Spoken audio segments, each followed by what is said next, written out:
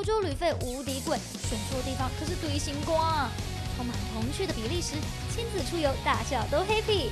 上面那个它看起来很小哎、是我眼睛有问题吗？走进了全世界最大的一个衣橱里面，根本就像一个世界博览会。骑马打仗不稀奇，比利时人骑马捕虾去。